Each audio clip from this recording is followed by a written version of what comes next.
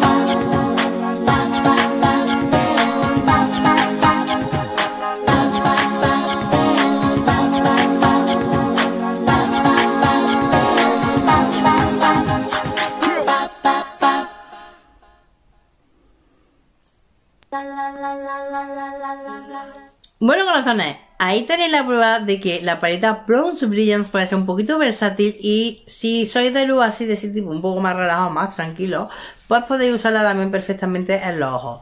Tengo que decir que cuando yo digo que no os tires de los pelos es porque la técnica tengo que pulirla mucho más, ¿vale? Ya lo sabéis, pero ya a mí me hace ilusión hacer este tipo de vídeos ¿Y cómo se aprende? Practicando. ¿Y qué más practicando que compartiéndolo con vosotros y con vosotras?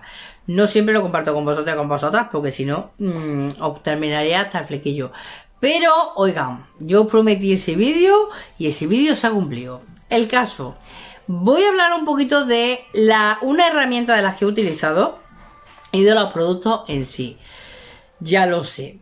Que a los veteranos ya conocéis el punto de vista y por qué cada producto y esas cosas. Pero bueno, o bien os sirve de recordatorio o, o, apetece verme y ya está. Para los nuevos, así sabéis un poquito más y os pongo un poquillo al día, ¿vale? Vamos que nos vamos y vamos a arrancar con uno de los accesorios que uso. Eh, ¿Accesorios? Sí. Un accesorio que uso que es una esponja de maquillaje. Vamos a ver, voy a aclarar que el pincel no voy a decir cuál es porque lo típico que te regalan un estuche con pinceles y no tiene nombre. Pues eso es el pincel, ¿vale? Entonces el pincel no lo voy a mostrar. Es un pincel normal de difuminar que he usado. La esponja de maquillaje. Aquí la señora cochinota, ¿vale? Cochinota porque eh, esta de haberla usado hace un ratito. Esta viene en un pack de dos, esta y una en forma de gota de agua que es de Primark. Primar o como queréis llamarla. Me parece que es uno y medio o dos euros el lote de dos esponjitas. Y tengo que decir que la de gota de agua, aunque tú la mojes mucho, se queda un poquito más dura que esta, esta ¿eh?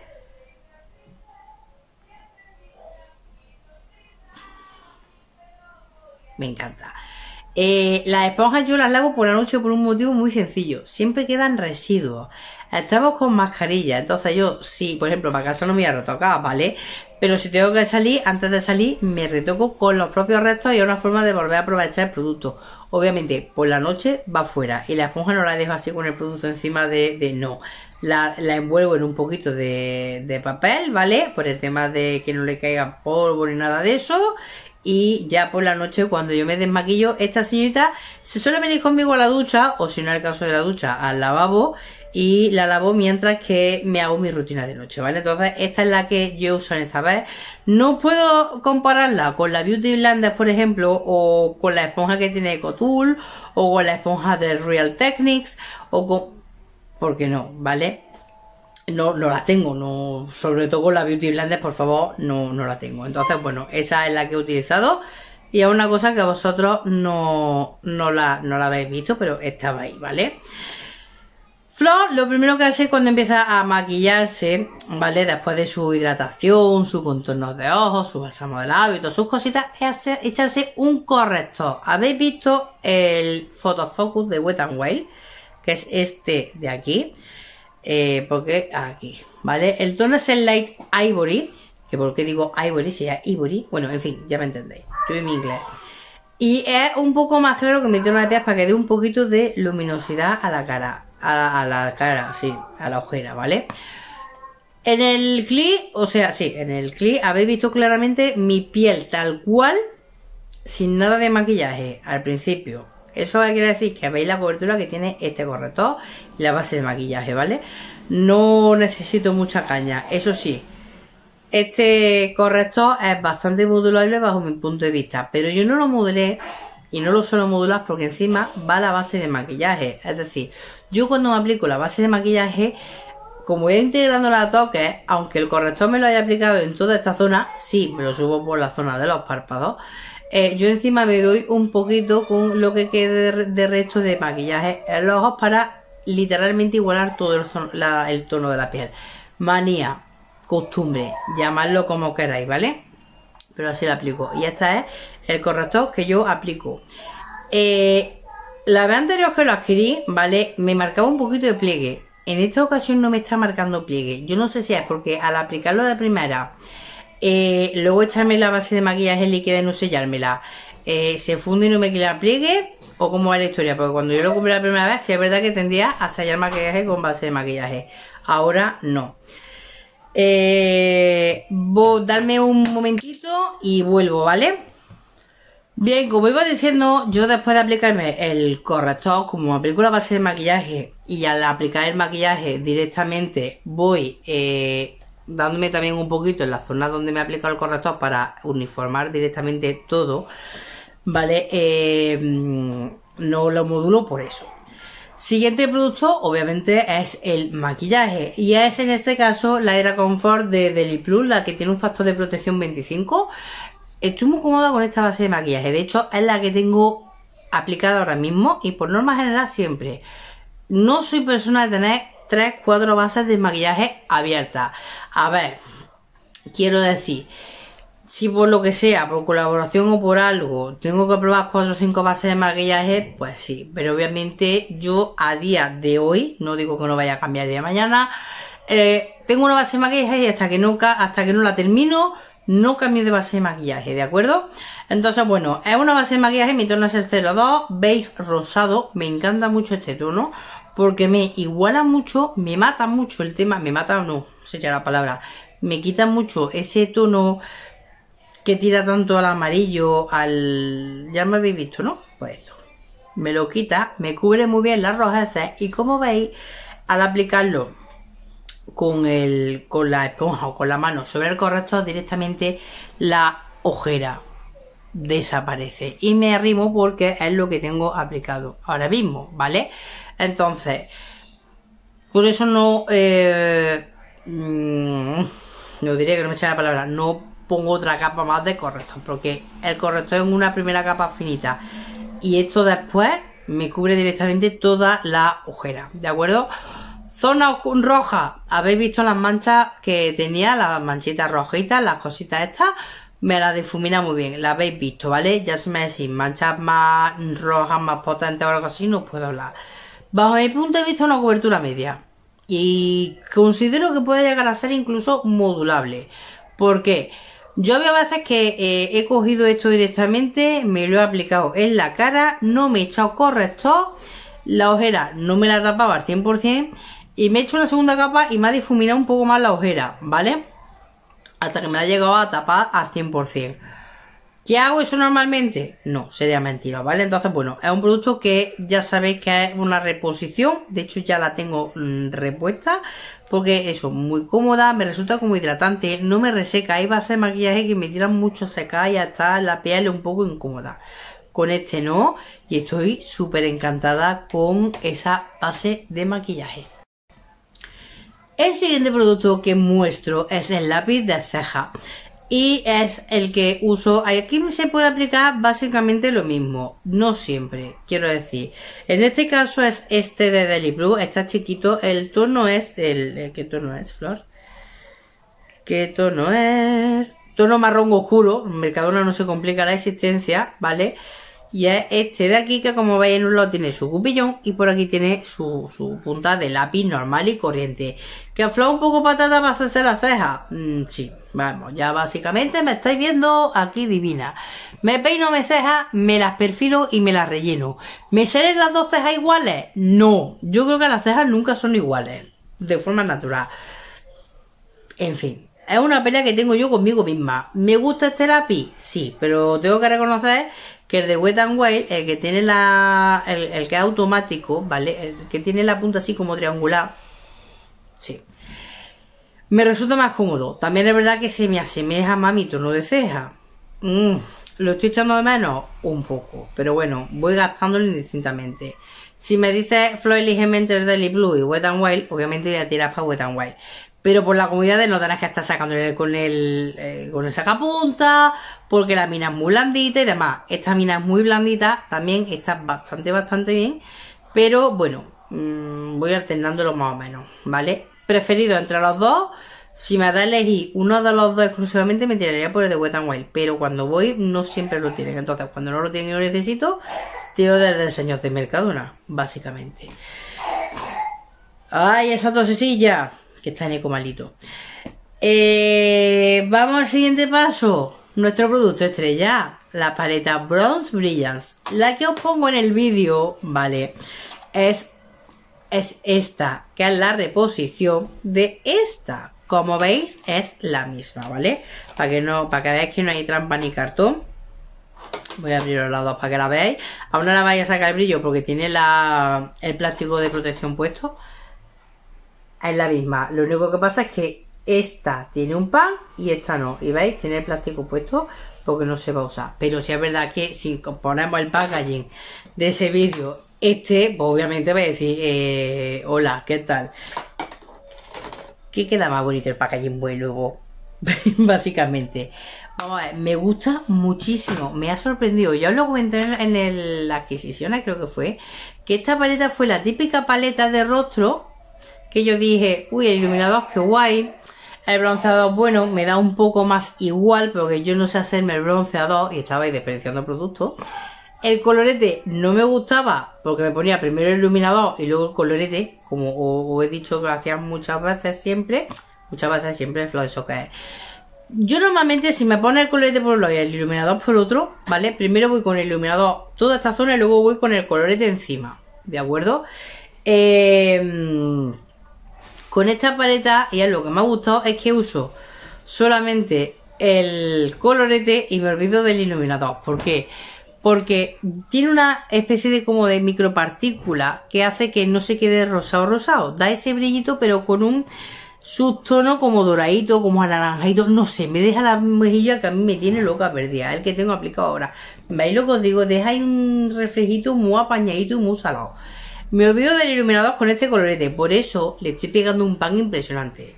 Lo he dicho, a las 7 y media de la mañana eh, necesito café en vena. Y el colorete puedo salir un poco tipo Heidi, ¿vale? Entonces, bueno, me facilita, es un 2 en 1. Yo le digo al colorete por sí solo un 2 en 1. Y bueno, en el ojo lo que he hecho ha sido marcarme la zona oscura con el bronceador, ¿vale? Que está muy bien. No voy a usarlo, o sea, no voy a usarlo, no voy a catalogarlo como bronceador, no voy a juzgarlo, perdón, como bronceador, pues no es hacerme bronceador, pero habéis visto que para oscurecer la zona de la cuenca del ojo lo he utilizado, ¿vale? Y luego lo que he aplicado ha sido el colorete naranja, que es un tono súper bonito y a mí este año me ha dado por el naranja, ¿de acuerdo? Eh, no le hace, eh, no, no le hace justicia, pero el colorete, el colorete me lo habéis visto, es el que tengo puesto ahora, y es que tiene ahí una luminosidad y unas partículas que le tiran así como el doraete. Muy chulo, muy mono. Entonces, eso fue lo que apliqué. ¿Podría haberlo hecho más complejo? O sea, más complejo. ¿Podría haberle metido algo más? Sí, el iluminador. ¿Por qué? Porque el iluminador, cuando yo probé la primera vez esta, o sea, hacer el vídeo, el iluminador lo metía en el lagrimal, literalmente. Entonces se quedaba un efecto muy chulo. Pero no sé por qué, en el clip, cuando lo grabé, pues no lo hice. Pero es otra opción. ¿Que queréis meterle rosa y naranja? Pues rosa y naranja. Oiga, señores, que se pueden aplicar perfectamente como sombra de ojos, ¿vale? De hecho, el look, ayer me retiré el maquillaje a las 12 de la noche. No se había movido un ápice. Ni lo que había utilizado eh, para marcar la zona más externa, es decir, el bronceador no se me había movido, pero tampoco se me había movido el, el, colorete del párpado móvil. Un ok. Versátil, como ya sola. Y si queréis iluminador por iluminador, vamos a ver que a mí, por ejemplo, este iluminador tira mucho como al amarillo. Si yo estoy huyendo del amarillo, no voy a usarlo como iluminador que es el fallo que yo tenía, porque yo cogía el iluminador, me lo aplicaba y luego cogía, el, rosita? Me aplicaba el rosita encima y no me terminaba a mí de convencer. Lo estoy haciendo así con los dedos. Pero a mí esto no me terminaba de llamar la atención, ¿vale? Era como demasiado, demasiado, demasiado. Entonces, bueno, ahí está la joya de la corona, ahí estáis viendo cómo lo he aplicado. Y como he dicho, eh, el pincel lo utilicé solamente cuando usé el bronceador, ¿vale? Para marcarle lo que es la externa, que luego se pierde un poco, toda la zona de la cuenca para recargarla más. Y mi razonamiento fue el bronceador, ¿por qué? Porque dije profundidad bronceador. ¿Tiene algo que ver? No lo sé, pero en mi mente jugó así y dije, mira, un tono oscuro y un tono que... Cosas de flor. ¿Se me fue la pinza? Sí, pero bueno, el resultado ahí lo habéis visto. ¿Patatil que se podía haber difuminado un poco más y se hubiera quedado mejor? Pues también os lo digo. Pero bueno, estamos aquí para aprender y para seguir mejorando. ¿Qué queréis que os diga? Máscara de pestañas. ¿Qué os digo de ella? Si me seguís desde que la descubrí, ya lo sabéis. Esa es la, esa es la vuelto a liar conmigo. Es la I, Love Extreme, es la que tiene las letras azules. Lo digo porque hay 48.000 packaging distintos, pero es rosa con las letras azules. ¿Por qué? Porque pone Crazy Volume Máscara Waterproof. Esta. He probado otra versión de ella que no me gusta nada. Que es una que tiene el packaging azul. Y esa no me gustó. Pero esta Mira mi pestaña que están arriba, ¿vale? O sea, se ha vuelto en un top. ¿Tengo dos máscaras de pestañas? Sí, pero tiro de esta. Siempre. Siempre. No me preguntes por qué, pero es esta. Me ha enamorado. ¿Que no llega a los 4 euros? Pues no llega a los 4 euros. ¿Que hay otras que me gustan? Sí, pero mm, esta me ha robado el corazón. Esta ha llegado a la última la tía y ahora ahí que se me ha plantado la primera. Así, sin más. Y para labios, ¿qué he utilizado? Bueno, para un producto que no recuerdo bien si lo cogí en adquisición o no. Yo creo que sí. tengo un poco de lío con las adquisiciones. Sí, os lo he mostrado, si no me equivoco. Si no, bueno, pues un poco de spoiler para las adquisiciones y ya está. Y es un brillo de labios, punto pelota. Un brillo de labios plan Plumping de... de Essen también. Transparente, efecto Plumping. Eh, pone que el tono es 102 Sweet Dream, que te digo yo a ti que esto es transparente. ¿Vale? Bueno, acá aplicármelo no porque tengo un, el resto de un maquillaje, o sea, de un, de un labial new que me he hecho, entonces no se va a ver. Pero es verdad que da esa sensación de... Mmm, ¿Cómo explico yo? De fresco, ¿vale? No es el plumping que pica. Ya me, ya, me entendéis, ¿vale? Es esa sensación de bonito. Labio brilloso, cuco, mono. Tengo un plumping de Oriflame que lo han descatalogado y me hace más... Y, ese sí pica. Este no pica. Este da la sensación de fresco y punto. Está guay, ¿vale? Pone Extreme Plumping.